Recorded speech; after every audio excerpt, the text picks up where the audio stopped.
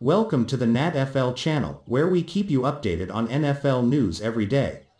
Green Bay Packers quarterback Aaron Rodgers has been hailed as the 2020 NFL MVP, marking the third time he received the award in his already Hall of Fame-worthy career. The 37-year-old signal caller became the sixth player in NFL history to win three or more MVP trophies, joining a prestigious list that includes Peyton Manning who won five, as well as Jim Brown, John Unitas, Brett Favre and Tom Brady who each have three.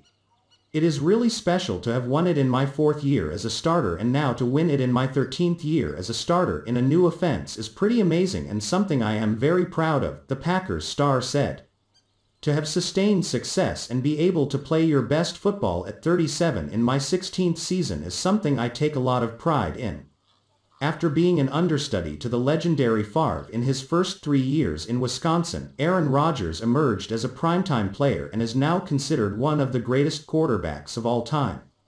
In his 15th season in the league, Rodgers still led the NFL in several statistical categories, including completion percentage, touchdown passes and passer rating.